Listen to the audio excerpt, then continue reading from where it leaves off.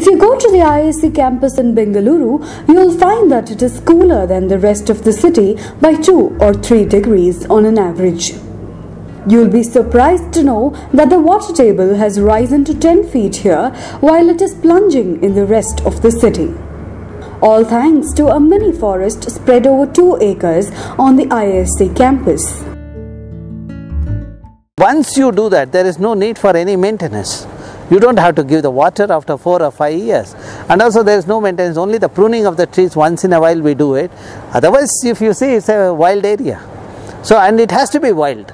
So, you should not try to maintain and make it uh, this one. So, when it is wild only, wild animals can reside. Two IISc scientists, TV Ramachandra and Harish Bhatt, started growing the mini forest in 1988. They brought in 500 saplings of 49 species of plants from the Western Ghats and planted them in the campus.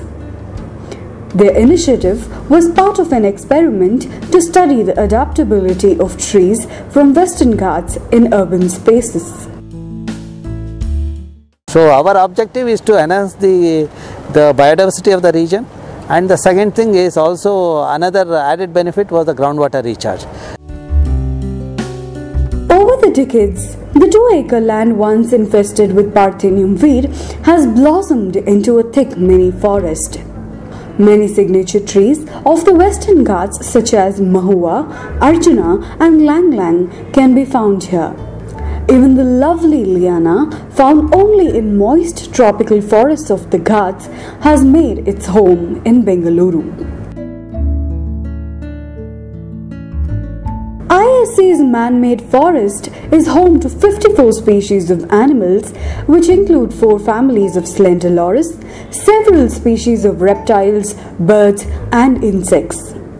Since the animals are left at peace here, researchers say many new species of birds have also migrated. The officials did not let us shoot inside the forest, saying there were poisonous snakes inside.